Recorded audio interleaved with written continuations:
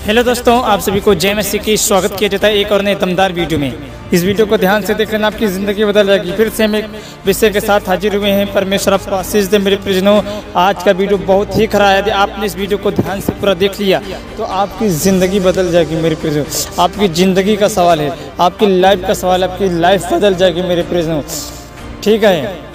आपको पता होगा, अंतिम दिनों में बहुत से लोग, बहुत सारे लोग लोगों को नहीं पता है और बहुत सारे लोग पाप में, व्यभिचार में, बुराई में गर्लफ्रेंड बॉयफ्रेंड में लिप्त हैं। मेरे प्रिजनों उन्हें भी वो भूल चुके हैं कि यदि ऐसा पाप करते हैं तो परमेश्वर हमें क्या क्या सजा देगा? परमेश्वर हमें क्या क्या सजा देगा? इसलिए समय है टाइम है। हमें अपने शरीर को सुख देने के चक्कर में हमें अनंत काल की सजा नहीं लेना है। हमें अनंत काल की सजा नहीं लेना। थोड़ा समझा थोड़ा समझा। और अनंत काल की सजा दी जाएगी, याद रखना इस बात को। अनंत काल की सजा देगा परमेश्वर, ऐसी सजा देगा जो एक दिन की आग नहीं, दो दिन की आग नहीं है। अनंत काल की आग है। अनंत विनाश की आग है, मेरे प्रियो। इसलिए हमें तैयार रहना है। तैयार रहना है। जागो जागो। यीशु आने वाले हैं। यीशु आने वाले हैं। कब तक पाप करते रहोगे? कब तक सेक्स वीडियो देखते रहोगे? कब तक गुप्त रीति से दूसरों का नंगापन देखते रहोगे? आज के इस समय बहुत सारे मसीह भाई बहन जवान मसीह भाई बहनों को शैतान पाप करवा के चला जाता है और बड़े आराम से, बड़े आराम से पाप कर देते हैं बेविचार कर देते हैं, पाप में गिर जाते हैं। विचार कर देते हैं। अपने शरीर को सुख देने के चक्कर में वो ये भूल जाते हैं। थोड़ा सा मज़ा, थोड़ा सा मज़ा लेने के चक्कर में वो ये भूल जाते हैं कि परमेश्वर मुझे क्या क्या सजा देगा। परमेश्वर मुझे क्या क्या सजा देगा। बहुत बेरहमी से तड़पाया जाएगा।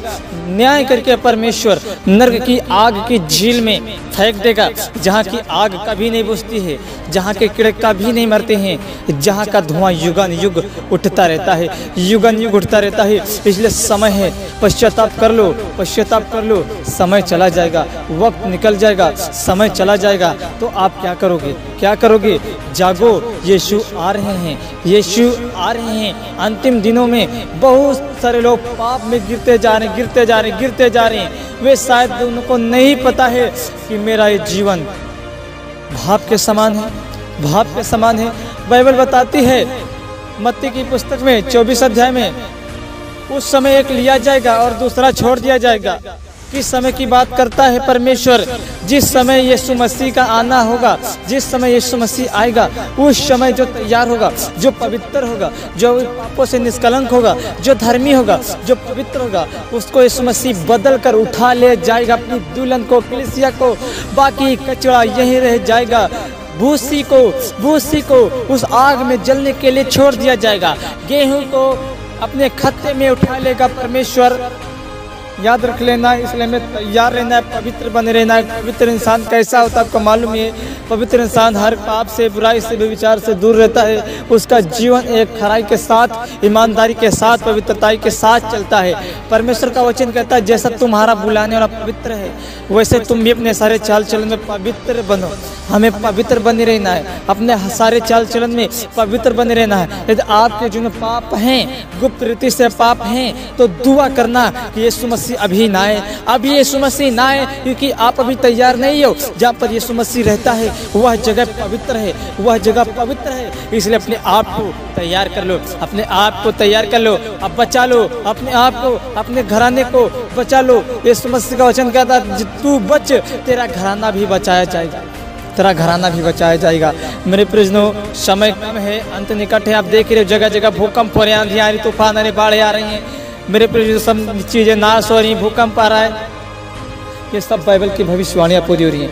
ये सब यीशु मसीह के आने का चिन्ह है। ये सब यीशु मसीह के आने के संकेत हैं। इसलिए हमें साफ़ पता चलता है। इसलिए हमें तैयार रहना है। हमें तैयार रहना है। हमें संसार में नहीं रहना है। हमें संसार में लिप्त नहीं रहना है। क्योंकि यीशु ने पहले ही कहा था। यीशु ने पहले ही कहा था, मेरे, मेरा जब आना होगा, इस छोर से उस छोर तक जो बिजली चमकती आकाश में चमकेगी और तुम जान लोगे कि मेरा आना नज़दीक है। ये जो चिन्ह है, जो समय ठहराया है, जो चिन्ह ठहराए हैं। ये सब संकेत है मेरे को। अभी समय है, अभी वक्त है। कब तक पाप करते रहोगे? कब तक गर्लफ्रेंड बॉयफ्रेंड बनाते रहोगे? अंत है इन सब पापों का, अंत है इन सब पापों का। गलत चीज़ों का अंत है। परमेश्वर का वचन कहता है, जो मनुष्य शारीरिक अभिलाषाओं पर मन लगाता है, वो एक दिन नष्ट हो जाएँगी। परंतु जो मसीह परमेश्वर की व्यवस्था पर मन लगाता है, ध्यान देता है, वो कभी नाश नहीं होगा। कभी उसके राज्य का अंत नहीं होगा। मेरे प्रिय, आपको पता ही होगा, जब धर्मी अनंत जीवन में प्रवेश करेंगे, जो दुष्ट लोग हैं जो पापी लोग हैं, जब न्याय करेगा, परमेश्वर जब नर्क में उन्हें डाल देगा, तब जब धर्मी अनंत जीवन में प्रवेश करेंगे और जो अधर्मी हैं, वे अनंत युगान युग के लिए उस आग की झील में, उस ज्वाला में तड़पते होंगे और तड़पते रहेंगे। जहाँ की आग कभी नहीं बुझती है, जहाँ के कीड़े कभी नहीं मरते हैं, इसलिए हमें तैयार रहना है, हमें तैयार रहना है, हमें यहाँ नहीं रहना है। हमारा घर यहाँ नहीं है, हमारा स्वर्ग में घर है, हमारा यहाँ कुछ भी नहीं है। हम नंगे आए थे और हम नंगे ही जाएँगे। इसलिए हमारा उद्धार होना बहुत ज़रूरी है। हमारा उद्धार होना बहुत ज़रूरी है। चंगाई परमेश्वर दे देगा। मेन बात आती है, हमारा उद्धार होना चाहिए। हमारा उद्धार होना बेहद ही ज़रूरी है। आप परमेश्वर के वचनों पर चलिए। उसकी आज्ञाओं को मानिए। आज्ञा क्या है? दस आज्ञाएँ जो यीशु मसीह ने कहा था। चोरी न करना, झूठ न बोलना, गाली न देना बेविचार न करना, लालच न करना। प्रेम करना एक दूसरे से। ये सारी आज्ञाएँ यीशु मसीह ने दिया था। आज्ञाएँ पे चलना है। आज्ञाओं को मानना है। आज्ञाएँ ही रह जाएँगी अंतिम दिनों में मेरे प्रेजो समय कम है। लौट आओ। पश्चाताप कर लो। मन फिरा लो। यीशु मसीह आपके गुनाहों को माफ़ कर देंगे, परमेश्वर आपके पापों को क्षमा कर देंगे, क्योंकि वो दयालु परमेश्वर है, आपके अपराधों को क्षमा कर देगा। अगर आपके जीवन में गुप्त रीति से पाप हैं तो आइए इसी वक्त घुटने टेक के बैठ जाइए परमेश्वर के सामने और बोल दो, प्रभु, मुझसे हो गया पाप, मुझसे हो गई गलती, और परमेश्वर आपके अपराधों को क्षमा कर देगा, गुनाहों को माफ़ कर देगा। आशा करते हैं, छोटा सा संदेश आपको समझ में आया होगा, जागते रहिए और प्रार्थना करते रहिए। सबको जय मसीह की गुड लक।